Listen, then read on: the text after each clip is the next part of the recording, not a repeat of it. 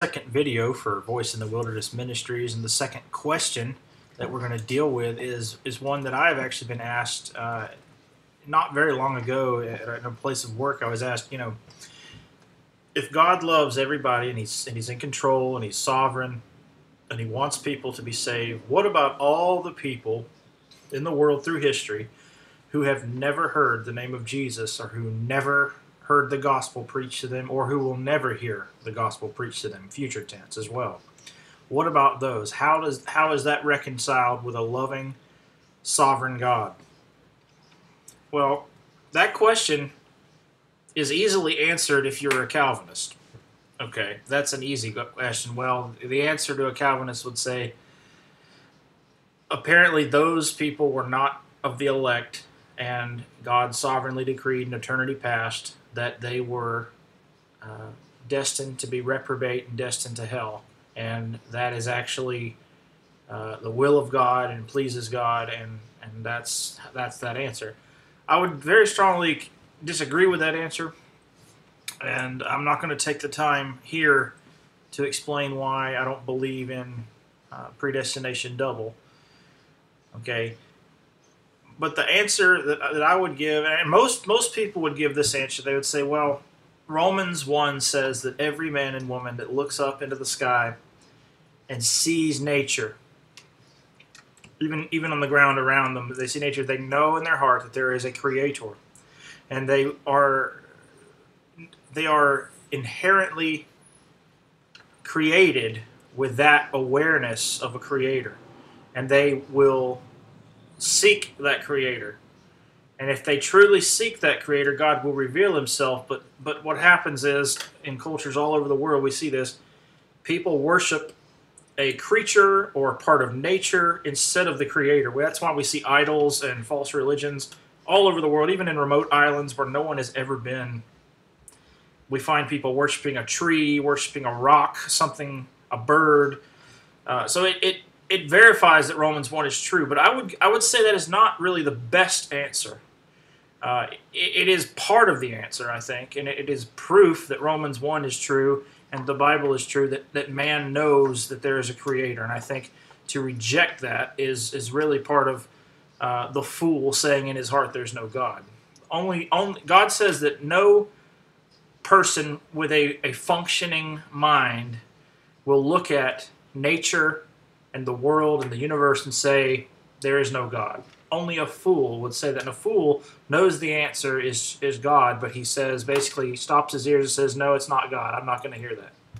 So, but I would go a step farther and say a better answer to that, and, um, you know, I'm not, not downing any, the first answer in Romans. That's an excellent answer, and I think that is sufficient, yes. But I think we can go farther and give a, a better, complete answer by saying, you know, in the beginning, God created Adam and Eve, and Adam and Eve had a responsibility to pass down the truth of God to their children, and that happened uh, for a while. But we see at some point, it, men did not know the Lord, and men rejected the truth which they knew, and it's, it's even tied into Romans. I believe Romans 1 is actually talking about that. They took the truth of God and turned it into something else. And eventually, God gave them over to it. So I cannot explain the sovereignty of God, or I, I, would be him. Obviously, can't do that. But God gave the truth to man originally, and at some point in the genetic line, way back when in Genesis, people rejected that, and it brought not only damnation on them, but upon their children. And it says that in the Bible that the sins of the fathers carry over to generations to generations. It's not. It's not some uh, mystical thing it's a simple fact that if you reject the truth of God and raise children in that way, they are going to grow up and reject the truth of God most likely, unless God intervenes, and they're going to pass that on to their children and grandchildren. So, over time, we see as the nations spread out across the earth, we see vast civilizations rejecting the Word of God, rejecting the truth of God, rather, uh, rejecting the existence of God, rejecting His true identity. So it is not like the Lord has failed somehow in letting people have a chance. It is generational sin that the rewards of which are being reaped. And I know that answer really bothers somebody, uh, bothers lots of people because they feel like, well, you know, how can God allow that? Well, God allows free will. Uh, he, he, all through the scriptures, we see that man has a free will. God has a sovereign control over the events of men, but he also, within that sovereignty, allows men to make free choices. He is sovereign enough to accomplish his will even in the midst of those free choices. He obviously knows what those choices will be. But nowhere do I find that, that God is a, uh, a dictating monster that is the author of sin. And we have to come to the realization that this is not on God. This is on man. Man had the truth and perverted the truth, corrupted the truth, and rejected the truth, and now his great, great, great umpteen great grandchildren are paying for it. And that's why it is so important to take the gospel everywhere we can, because the effects of the curse are multiplied uh, through the genealogies. Because not only are, are sin being passed down, but the, the, the effects of sin are being passed down. The, the rewards of evil, of rejecting God's truth, are being passed down generation to generation, and we have got to uh, do our part. Obviously, the Holy Spirit is the, the real actor there who, who intervenes and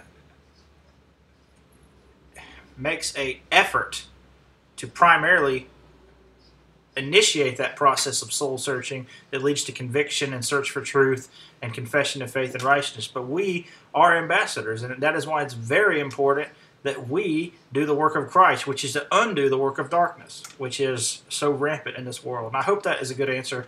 Uh, that is something definitely for you to think about. And, and if someone asks you that, uh, maybe you know now you can say a little bit better than well, you know, I don't know, because that's not always really a good thing. Uh, hope you enjoyed this video. If you did, please subscribe to the video channel on YouTube. You'll be linked to it. And of course, you can always go to the Voice in the Wilderness Ministries blog and ask questions, submit them that way. You can also email me at kennethdwillis at gmail.com. Have a blessed day.